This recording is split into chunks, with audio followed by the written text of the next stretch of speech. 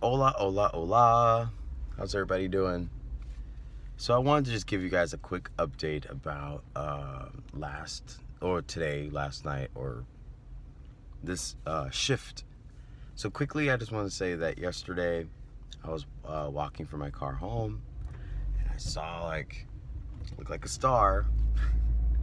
it's a little bit brighter, so I had the inkling to point my pineal gland towards it so that was in a 45 degree angle. And just to be weird. And um, in my mind, I had the word cellular upgrade.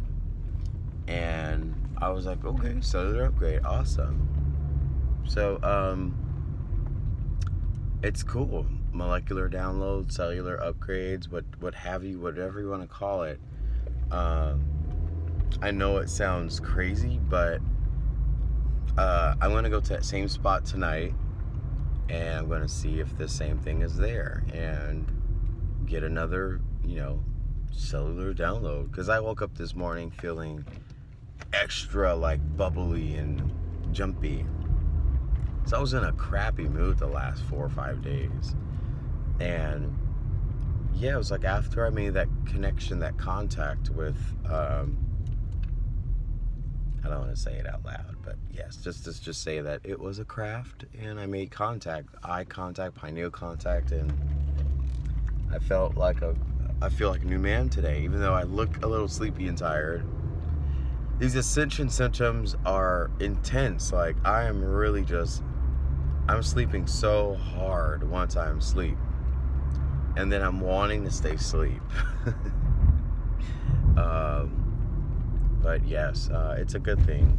And I think there's a lot that has to do with the new moon as well coming up. So um, this is actually the first new moon of the year where I feel like, all right, cool, we're friends, we get along with each other. Finally, um, and if I were to curse, I would say shit. because it's just been it, every new moon has been hell on earth. Um, especially for us Capricorns, it, we have just been through the wringer and we are just done. We are tired of being guinea pigs. Anyways, um, have a wonderful day, everybody. I just want to do a quick update and basically uh, embrace it, take it in, utilize it, show off with it. Um, it's time to stop contemplating and second guessing, going, well, I don't want to sound crazy. Own it.